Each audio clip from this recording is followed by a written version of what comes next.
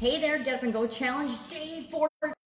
Sharon Horne-Ellstrom here, and we just finished going through our soap model, the soap model. This is up at the cabin with my weird bar of soap. And today, we, I went through it. My left knee still hurts. I'm going to still continue to work on the physical aspect of my life.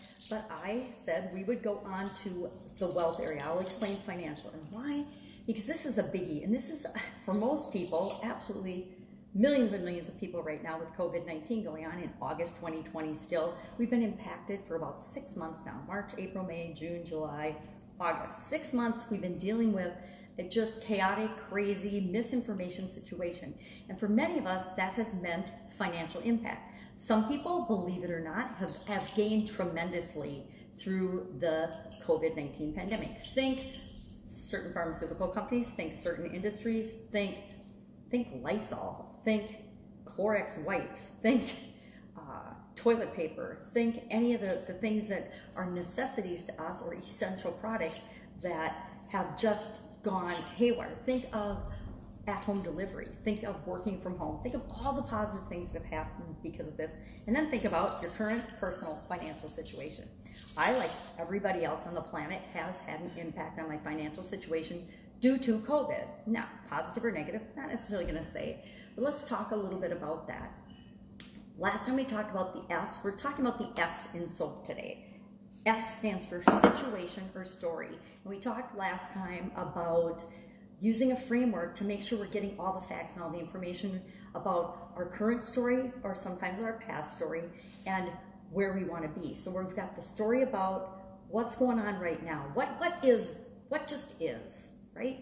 And it, we're not going to judge it whether it's bad or good. It just is what it is. And then what do we want it to be? So say financially, most of us are, and, and let's just assume people are struggling right now. Everything's changed, not everything, but a lot of things have changed. Businesses have gone under or been shut down overnight. Um, jobs have gone away. Everyone knows somebody that's lost their job or is out of work right now, or their business has been shut down or gone out of business, or whatever. All of us know at least one person if it hasn't happened to us personally. So the money and the resources we were counting on disappeared or dried up.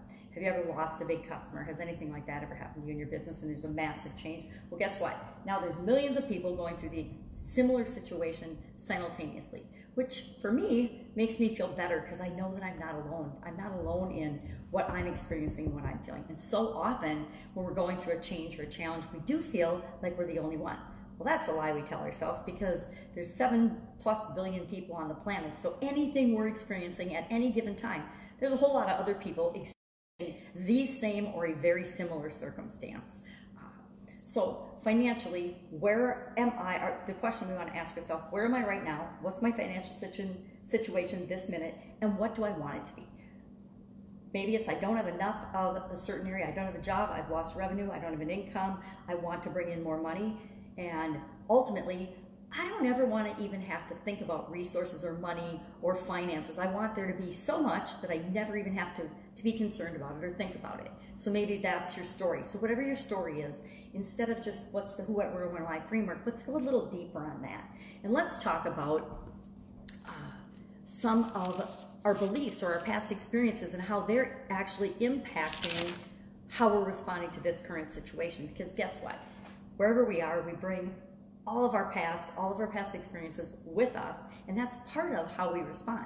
So maybe, and I want to talk deeply about the beliefs and the mindset that comes along with this, because part of our story and part of our situation is always based on our past experiences and our beliefs. Now, it doesn't mean we have to continue to, but if we don't at least recognize that they might be playing a role in our life, for example, when I was a kid, and I probably was a sophomore or junior in high school. I loved music. I had, um, when I was gotten an, remember back when they had albums and phonographs, my very first one was an Elton John album. And I don't remember if I was gifted it or how I got it, but I loved that album and I played it over and over and over again. Probably drove my sisters nuts, but that's why I had my own room, so I didn't drive them nuts. And I decided somehow that I loved music and I wanted to get my own stereo. Now I grew up in a family of four girls, and girls are expensive. Kids are expensive. I don't know if you know it or not yet, but kids are expensive.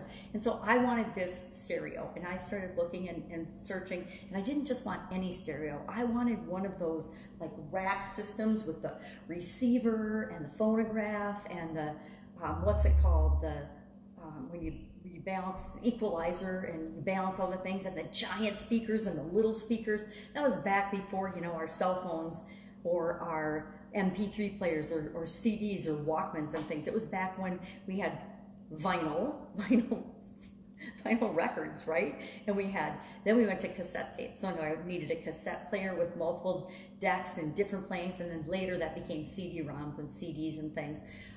But the technology changed. But back then in high school, I wanted this super duper deluxe fancy stereo because I knew I was going to go to college. And when I went to college, I wanted to bring my music with me because I loved music.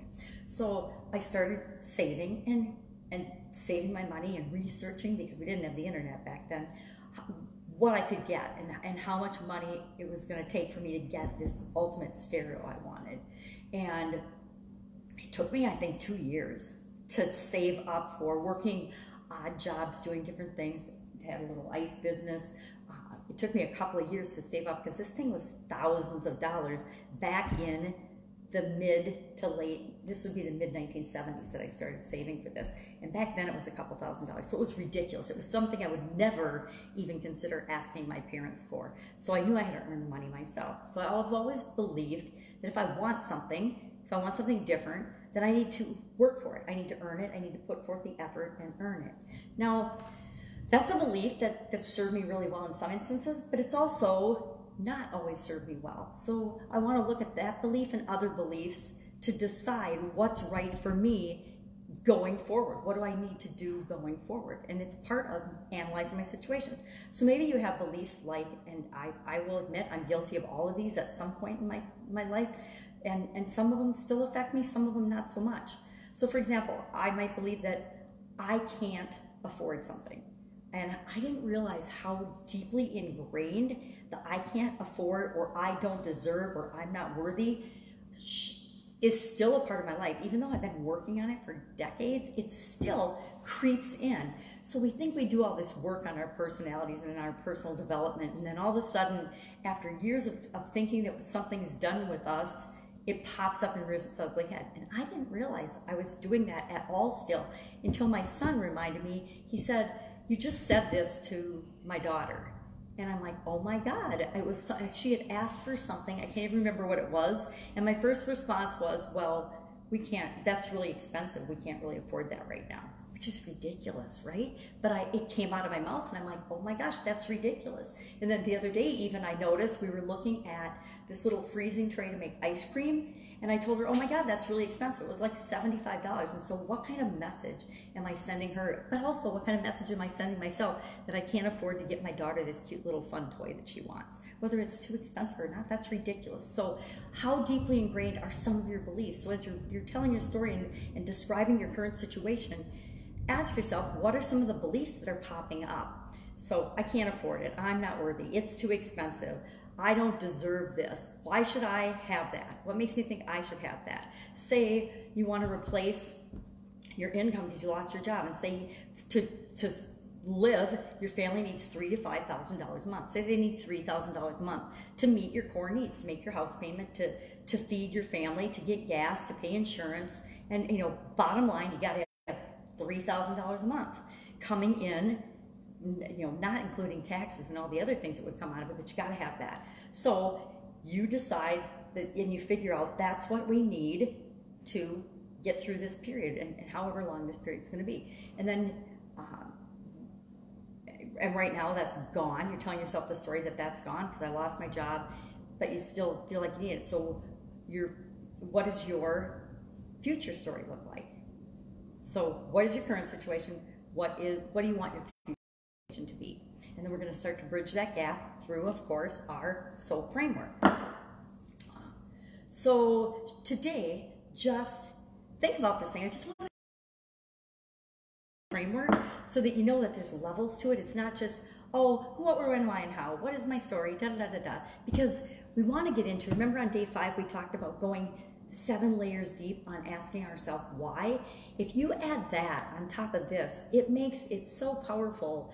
The, the vision of what you want, it just solidifies. So as you take a step toward it, and maybe you feel like, oh, that didn't work at all, that was an epic failure. I totally tried something and it didn't work. Instead of giving up, you say, okay, that didn't work. What's next? What am I going to do next? So today, as your action item, as your play item for your playbook or workbook, share one thing one thing about, or a couple sentences about, just briefly, your future vision, what you want your vision to look like for whatever area it is of your life that you're working on. So maybe you're still working on physical, or maybe you picked mental, or emotional, or spiritual, or contribution, or relationships. Maybe right now your relationships are just driving you crazy, but you know how you want them to be. So what's the story you're telling yourself? Think about that, but then just share in the comments below a couple of sentences about your vision, your ultimate vision of what you want it to be. I want us to remember to focus on where we're going with some of this so that we're focusing on the results that we want. We're not always focusing on what it's like or what's not working now. I think last time we went through, we, we did the opposite. We flipped it from what is to what's possible. And I want this time us to go a little deeper and then say, okay, here's the beliefs, but do that same strategy on the beliefs. If you say, I can't afford it, say, I can't afford not to have it. I don't deserve. Well, I'm a planet. Totally deserve this. That someone else deserves it more than I do. Crazy lies we tell ourselves. So, share one sentence of your vision or a couple sentences of what your vision is for the area of your life you're working on, health, wealth, or relationships, or whatever it is for you. And I will be with you tomorrow. We are going to go right into the O of our SOAP framework and I'm going to share my example of what's my situation, what's my financial related one in the comments below, and then I and I'll go into more detail on mine for you, uh, just as an example. And then you just do yours, do your work, do your work. It only takes a few minutes. You know what your current situation is. You might not want to look at it, you might not want to see it, you might not want to be honest with yourself about it, but you totally, absolutely, positively know what it is. I know what mine is, you know what yours is. So then share the vision of it. Tomorrow, we will hop right into the O of our soap because that's where we really get creative. and We really get to see the, the power that we have within us already. All right, have an amazing day. If you have any questions, hit me up in the comments below. Otherwise, I'm gonna go, I guess I'm not gonna go out in the rain, but I'm gonna go do some fun things. I'll go bowling. Go bowling with uh, my amazing little granddaughter. Cabin, have a great day.